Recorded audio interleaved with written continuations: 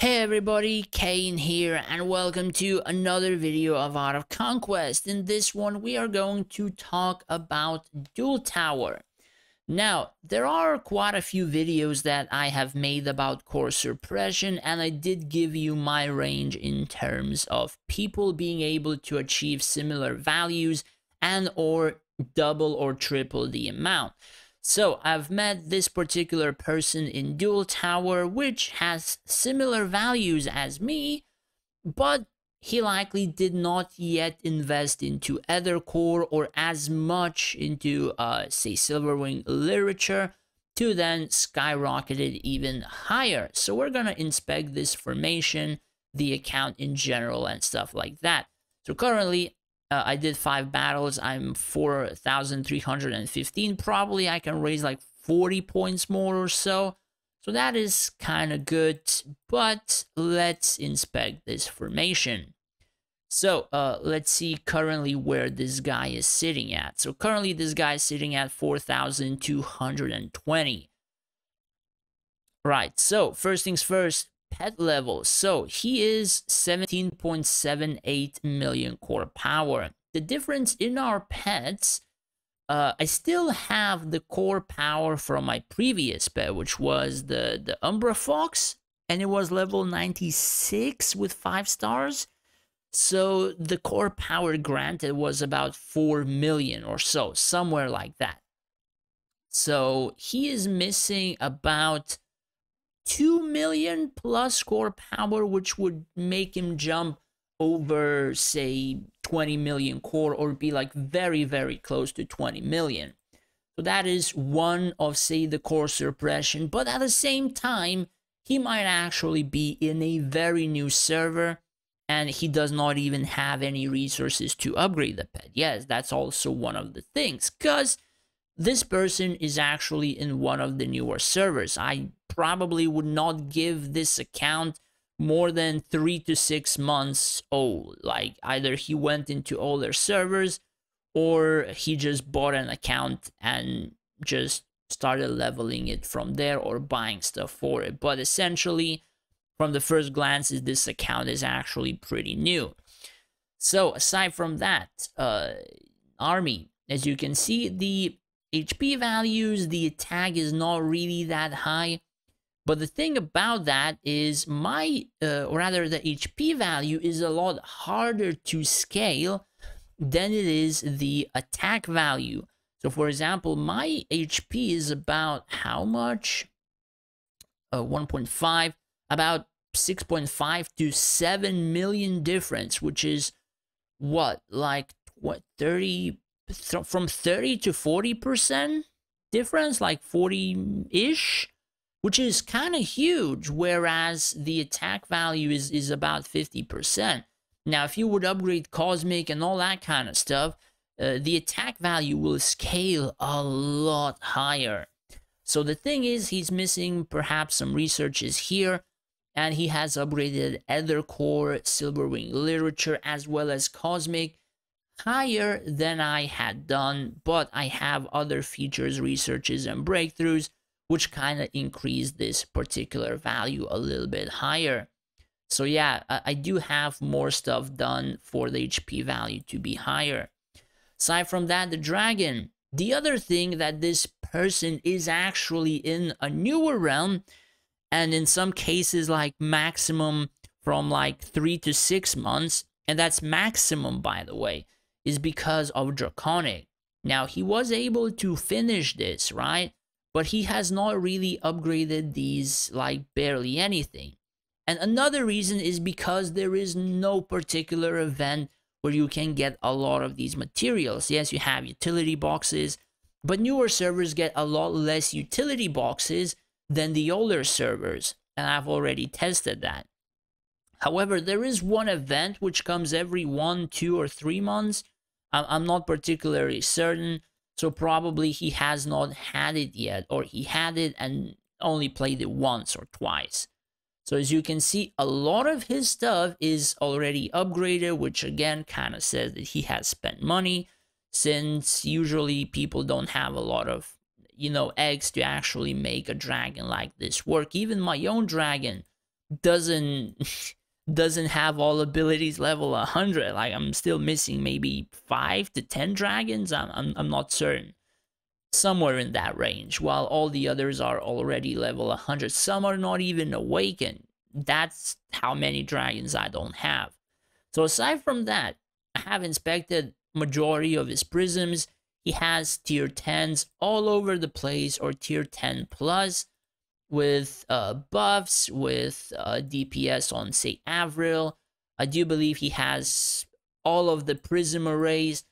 However, as he is on a new server, I've seen, I think, two Prisms. I think it was Fenris, which were low level. Now, I'm not particularly certain which hero it was uh, I think it was one of these where he had, yeah, something like this, right? So this is like level 3, 4, or 5. He's probably leveling one prism at a time or something. So essentially, that could be why some of his attack value is higher. Now, the other thing is the attack value. So his Avril is 220 million attack. Now, to show you in comparison, is that my Avril is pretty much the exact same attack value, but he has a lot less HP. Now, HP usually is where uh, you might, or rather, you might be able to get it from breakthroughs uh, or specific breakthroughs, research, all that kind of stuff. Uh, you cannot really reliably increase HP, then you can increase attack. The attack value will always scale a lot higher than that of a HP value. But if you increase the HP value, you increase the tankiness of the heroes by a lot. Prisms buff HP, then HP gets buffed by the healing from Hero Mastery because there is a percent healing, which adds a ton of tankiness to a, a lot of stuff. Resistances, of course, make your heroes die less. And since you have a lot of HP value, the damage enemy does seems low as well as like all other shields scale with HP and, and a lot of other stuff, right? So increasing HP overall like increases a lot more tankiness. Whereas increases uh, or increasing the attack value, if enemy has a lot of resistances, the attack value can get reduced. But that also depends on a lot of aspects.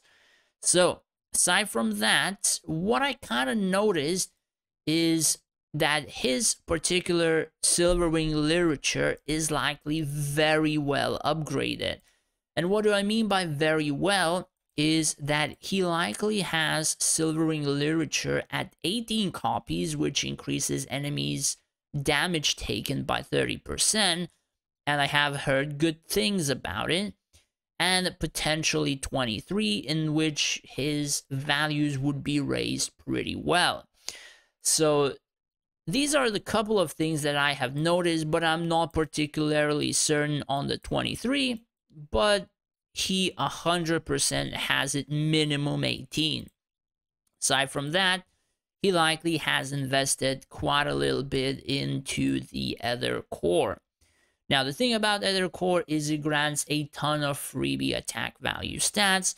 Some people are luckier than others. I wasn't particularly very lucky, but I, think I'm around the average state of people where you could get, you know, one of the, the five stars and stuff like that.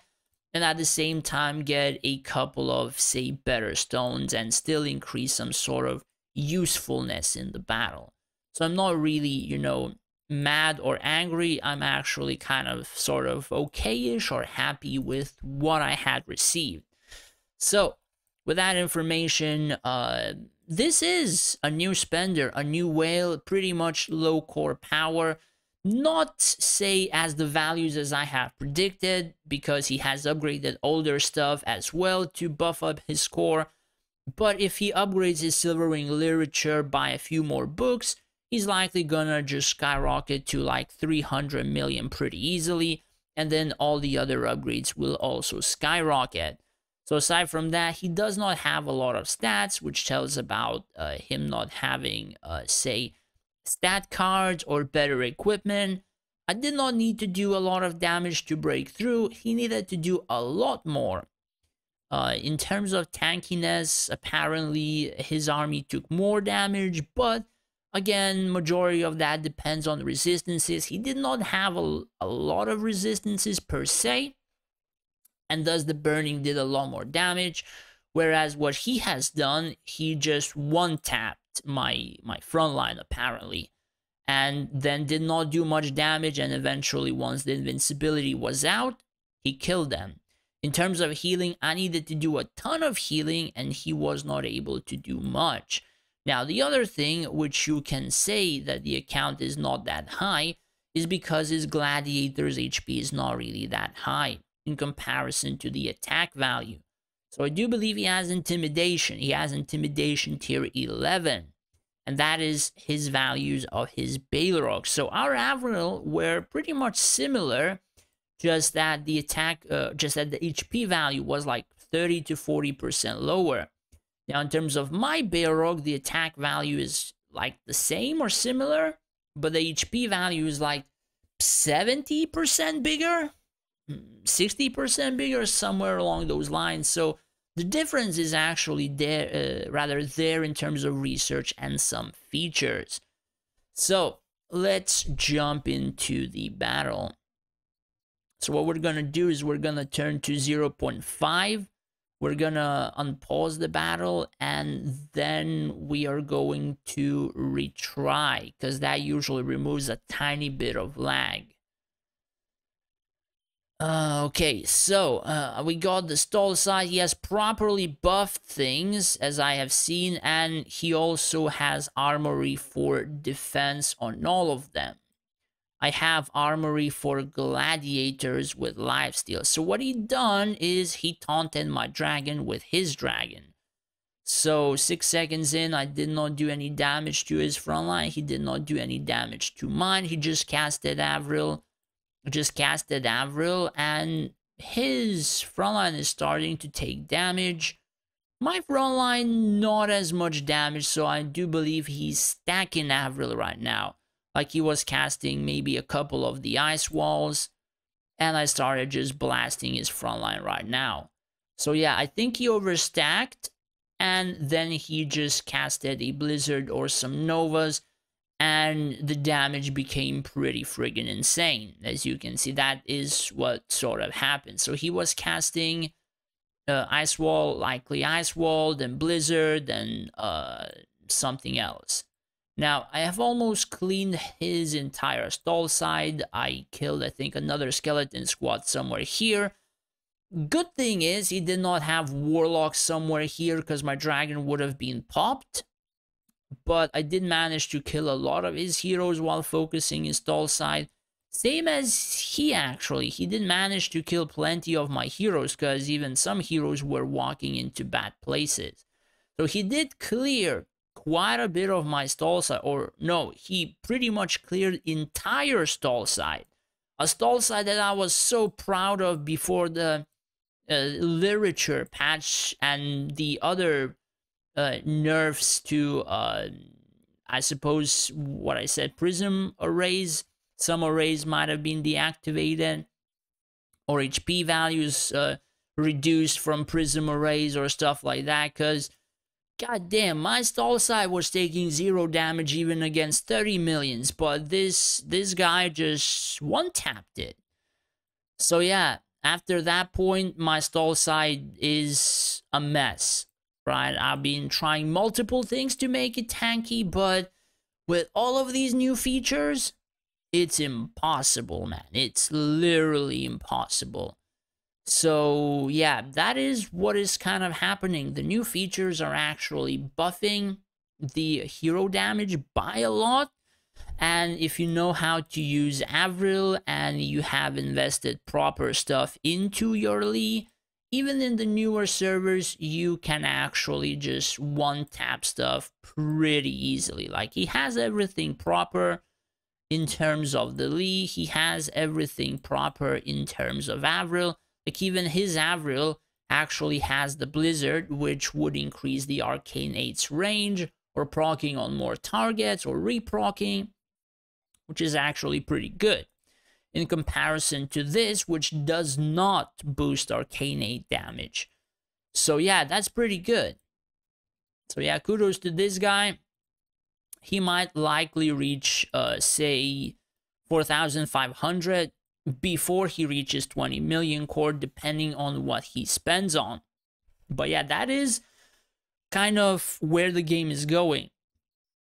All of the new features are kind of not giving that much core power in terms of, say, Silverwing literature, in terms of the other core.